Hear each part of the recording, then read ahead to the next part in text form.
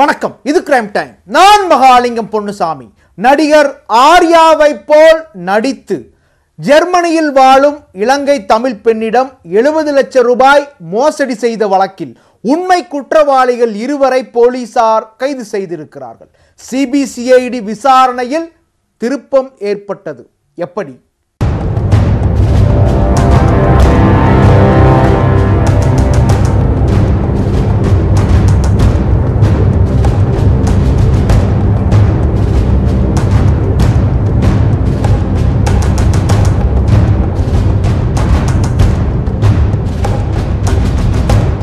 நான் தான் ஆர்யா பேசுறேன்.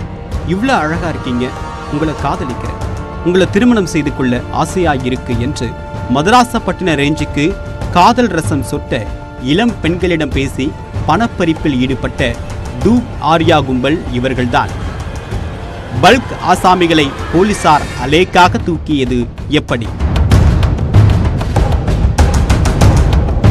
இலங்கையை சேர்ந்த தமிழ் இளம்பெண் வித்ஜா. இவர் தன்னுடைய பெற்றோருடன் ஜெர்மனியில் குடியேறி அந்நாட்டு குடியுரிமை பெற்றுள்ளார்.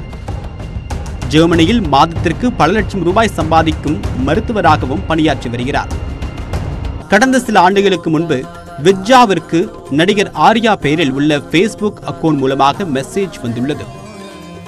நடிகர் ஆர்யாவே நமக்கு மெசேஜ் அனுப்புகின்றாரே என்று வித்யாவும் பதில் கொடுத்து வந்துள்ளார்.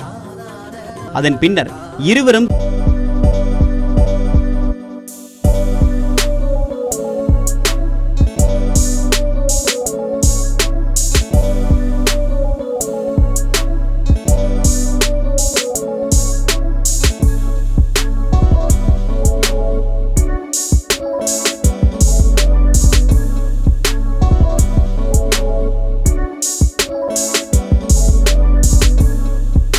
பணத்தை பெற்றவுடன் பெண்ணின் தொடர்பை துண்டித்துக் கொண்டு காதல் பாடல்களை பாடுவதையும் நிறுத்திக் கொண்டுள்ளார் ஆர்யா.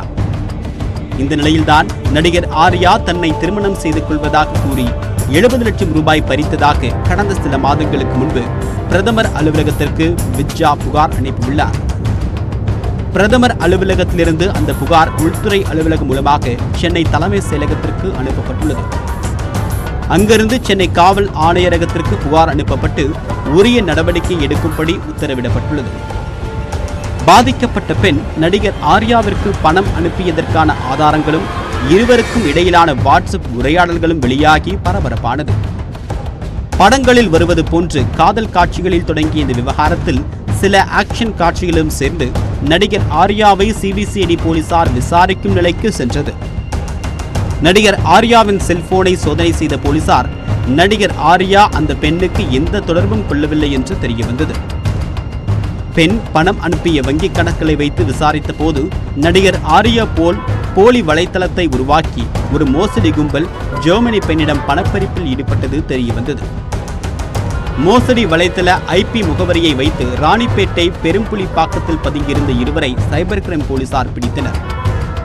இவர்களிடம் நடத்தப்பட்ட விசாரணையில் சென்னை புளியந்தோப்பை சேர்ந்த முகமது அர்மான் மற்றும் அவருடைய மைத்துனர் முகமது உசைனி பயாக் ஆகியோர் என்பது தெரிய வந்தது.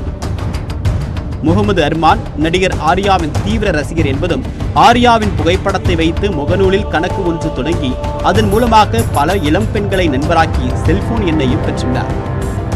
இளம் பெண்களை காதல் வலையில் விழ வைத்து ஆர்யாவை போல் குரலை மாற்றி மிமிக்ரி செய்து திருமணம் செய்து கொள்வதாகவும் நம்ப வைத்துள்ளார். திருமணம் செய்து கொள்ள இளம் பெண்கள் ஒப்புதல் தெரிவித்தவுடன் ஆர்யாவின் தாயார் பேசுவது போல் முகமது அர்மான் ஆப் மூலமாக குரலை மாற்றி பேசி பணப்பறிப்பில் ஈடுபட்டு வந்ததும் தெரிய வந்தது இதேபோல்தான் ஜெர்மனி பெண்ணிடம் ஆர்யா போல் பேசி திருமணம் செய்து கொள்வதாக நம்ப வைத்ததும் அந்த பெண்ணிடமிருந்து எழுபது லட்சம் ரூபாய் பெற்று மோசடி செய்ததும் தெரிய வந்தது அருமான் மற்றும் இனியொரு நபர் வந்து போலி கணக்கு ஒன்று ஃபேஸ்புக்கில் ஆரம்பித்து ஆரியா மாதிரியே பேசி எழுபது லட்ச ரூபா அவங்ககிட்ட இருந்து அபகரிச்சது வெளிச்சத்துக்கு வந்துருச்சு. இந்த புகாருக்கும் ஆரியாக்கும் எந்த விதமான சம்பந்தமும் இல்லை. அந்த அந்த நபர் இருவரும் வந்து சமூக வலைதளங்களில் ஆரியாவா அந்த வித்யா கிட்ட அறிமுகப்படுத்தி பணத்தை பறிச்சுட்டாங்கங்கிறது விசாரணையில் தெரிய வந்திருக்கு. யூடியூப் நியூஸ் சேனல்லாம் பார்த்தீங்கன்னா இவர் வந்து ஜெர்மனிக்கு போனாங்க அதுக்கு ஆதாரம் இருக்குன்னு எல்லாம் போடுறாங்க. ஜெர்மனியில் இருக்கிற பொண்ணு இங்கே வந்ததாக சொல்கிறாங்க இது வரைக்கும் அவங்க ரெண்டு பேரும் மீட் பண்ணதே கிடையாது. சமூக வலைதளங்களில் அந்த அம்மா வந்து ஆரியான்னு ஒரு நபரை நம்பி அவங்களுக்கு பணத்தை கொடுத்துருக்காங்க அவங்கள்ட்ட பேசிட்டு இருந்திருக்காங்க. அவங்கள பொறுத்தளவு அவங்க அது ஆரியா. ஆனால் உண்மையான நபர் ஆரியா கிடையாது. இவர்களிடமிருந்து இரண்டு செல்போன்கள் ஒரு லேப்டாப் ஒரு ஐபேட் மற்றும் முக்கிய ஆவணங்களையும் மத்திய குற்றப்பிரிவு போலீசார் பறிமுதல் செய்தனர்.